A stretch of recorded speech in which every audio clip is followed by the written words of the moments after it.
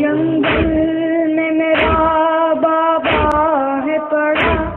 अब भला सो है धूप की गर्म हवा।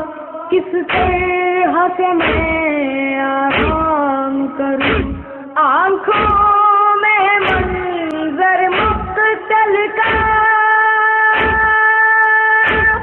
को मेरे काबू में रखूँ। दिल का